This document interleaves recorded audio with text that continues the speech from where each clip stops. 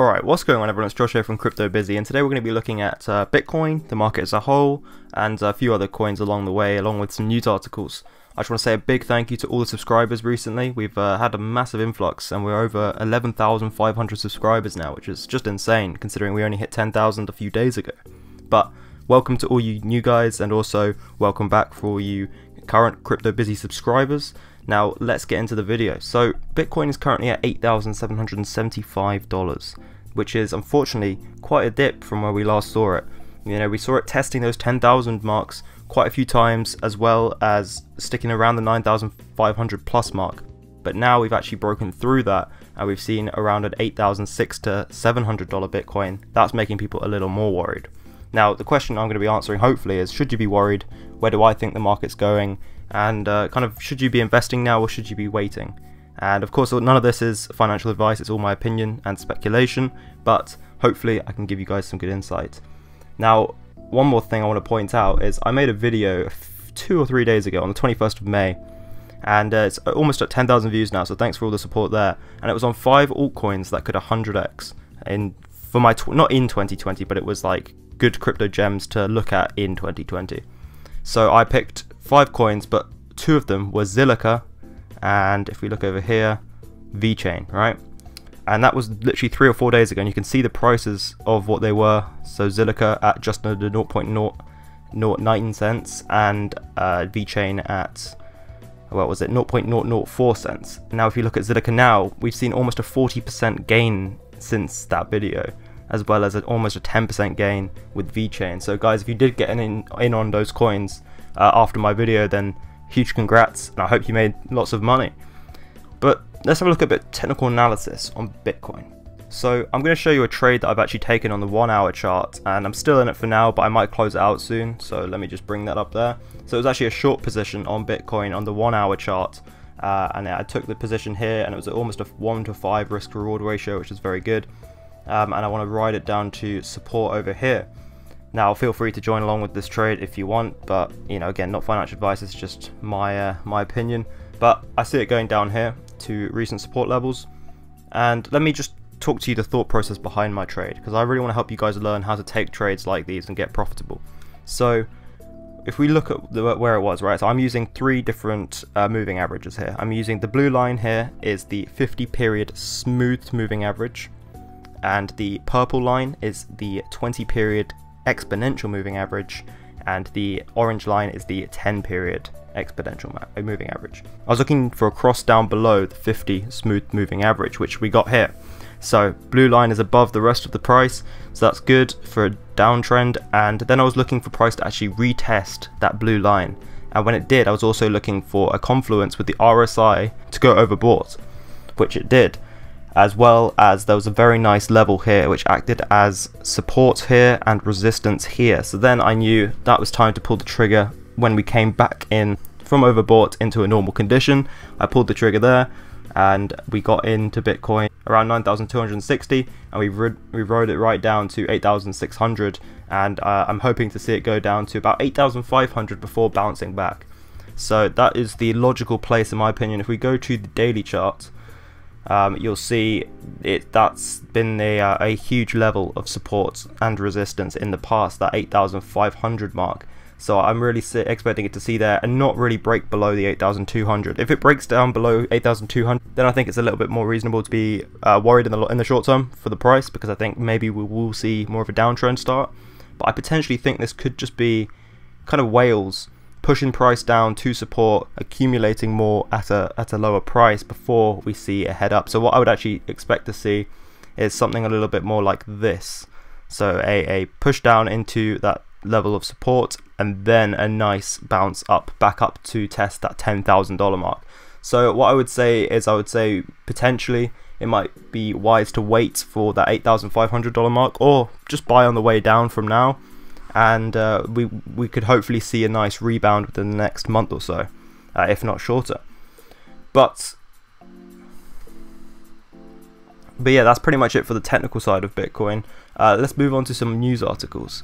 So we got here saying as Bitcoin falls to two week lows, small investors look to be buying. We've got a lot of news articles recently I found out are quite bullish, which is a really nice change to see because a lot of the time we've had scam here, scam there, this crypto exchange got hacked, whatever, whatever. But now it seems to be like, oh, people are buying, people are bullish on crypto, people see that there is a use in crypto. So I think that's really good to see that kind of mainstream media adoption there.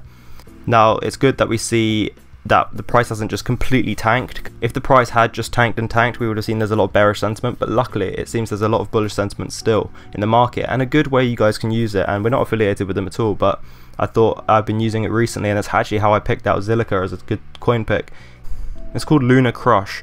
Um, I just found it recently actually, and it basically measures sentiment and uh, social engagement for different cryptocurrencies over like Twitter and stuff. So that's actually really helpful because a lot of people might think, oh, it's just Twitter, it doesn't mean anything. But in reality, sentiment is what drives the market.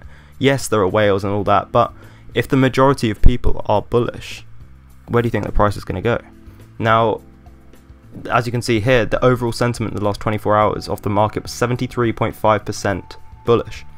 So that says to me, hey, look, we might we might be heading down a little bit but everyone's still ready to buy and people are buying on the way down. And that is something that's really really important because if this was if this number was below 60% I would probably say okay people are turning turning around and they're saying okay I don't want any part of this anymore. So it might be wise to check back tomorrow and see what this number is. Uh, I'll definitely be doing that but uh, that's just an idea guys and you could use this for all altcoins as well I found. So you can literally type in an altcoin that you like and it will tell you the engagement the social sentiment stuff like that and it really helps you figure out which coins might burst such as Zilliqa and VeChain did. Furthermore so Bitcoin's Twitter sentiment data here rolled out by a blockchain data firm also said that there are over 34 million Bitcoin related tweets every single week which is crazy because this is way more than we've seen in the past, meaning not only are we more bullish, but it's getting more exposure. And exposure is key, guys. Exposure is key for Bitcoin and cryptocurrency.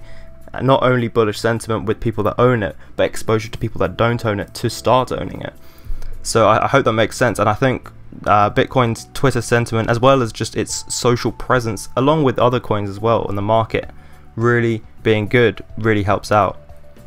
Furthermore, we've got a golden cross invalidated, which unfortunately is not a good thing. So a golden cross, for those, for those of you that don't know, is when these two moving averages, I won't go into depth, but so the golden cross in technical analysis is something that a lot of traders look to. Um, it can be, it can work, it can not work. You know, sometimes it's good, sometimes it's bad. It, it applies more to stocks than it does, for example, foreign exchange. Uh, we're still yet to kind of test out how it plays out over many, many years on cryptocurrency, but it seems to have been quite good, but essentially it's a bullish signal when two moving averages cross a certain way, showing that price will most likely increase. And unfortunately, this golden cross was invalidated due to the recent dumping, but Andreessen Horowitz, the big firm that's actually started a cryptocurrency fund, with which is worth over 515 million, I think, uh, has actually predicted the fourth crypto cycle. So we've heard a lot about this on this channel. We've talked a lot about this fourth cycle, this fourth phase of crypto, and we could potentially be seeing something like we could potentially seeing something similar to 2017 happening again. Maybe not this year, maybe next year, but in the near future, guys, we could see some kind of gains that will be life changing for everyone involved in crypto. And I really hope to see that, of course. Who wouldn't? But um, we're just going to have to wait and see for that.